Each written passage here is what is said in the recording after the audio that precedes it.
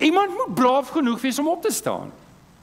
Iemand moet braaf genoeg wees om op te staan. Iemand moet 'n stem wees in die donker. So, Ester 4 vers 14. Lees ons. Mordegai praat met Ester. As jy nou swyg en daar kom van 'n ander kant af uitkoms in redding vir die Jode, sal jy en jou familie omkom. Wie weet, miskien is dit juis met die oog op hierdie dat jy koningin geword het. Nou oké. Okay. 'n Vierde les wat ons hier moet uithaal. Ester het 'n oomblik van waarheid. Ester het 'n oomblik van waarheid waar sy 'n besluit moet neem. Gaan sy stil bly en net kyk of die storm verbygaan of gaan sy praat? En die risiko is dat dit haar baie kan kos. Sy kan haar lewe verloor. En die realiteit is daar's net een persoon wat dit kan doen. En daardie persoon in my en jou omgewing is wie? Is is ek. Is ek. So elkeen van ons kry ook so 'n dag, 'n oomblik van waarheid. Dis nie elke dag nie, maar daar kom baie sulke dae waar daar oomblikke van waarheid is. En in Efesiërs 6 vers 13 praat spesifiek van sulke dae. Hy praat spesifiek. Hy sê van 'n dag van onheil. Hoor net die vers.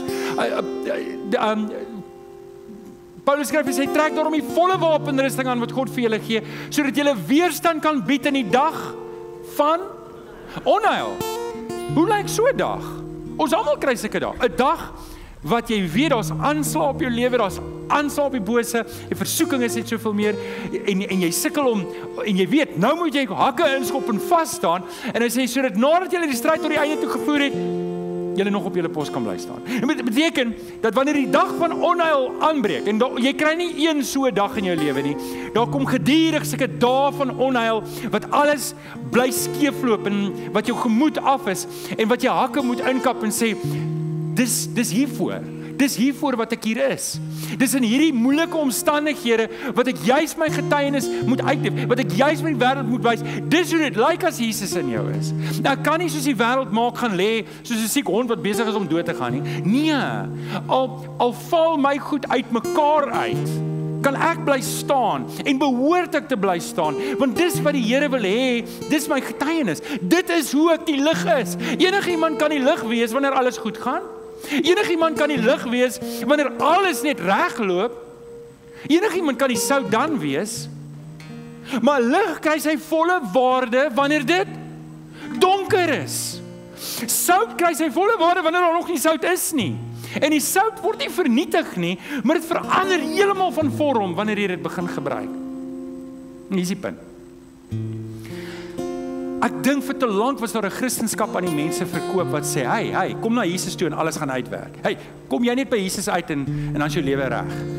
En daar steek 'n waarheid daarin, want ek moet vir julle sê vandat ek Jesus leer ken het, het ek op 'n stupid foute maak of minder stupid foute begin maak wat my regtig kos. En en ek het my lewe op 'n pad gekry dat ek dat ek minder skade doen aan die mense om my.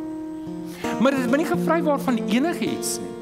My nie gevry word van enige iets wat in die wêreld gebeur nie. Maar dis juist die ding wat hier moet gebeur. Wanneer daai dag van on, wanneer die donker kom, moet iemand staan. Iemand moet staan en daai iemand is ek en jy. En hiermee wil ek afsluit, né? Ek ek wil ek wil 'n beroep doen op jou siel as ek ver oggend kan. Dat ek en jy nie 'n wishy-washy sagry my bootjie Christendom moet begeer. Maar dat ek en jy soos Ester sê, Here, U het deur U almagtigheid en die soewereiniteit bepaal dat ek moet in hierdie tyd lewe. En iemand moet opstaan. Iemand moet met die koning gaan praat al kos dit my lewe. Iemand moet 'n stem wees in hierdie lewe. Iemand moet 'n stem wees in hierdie wêreld.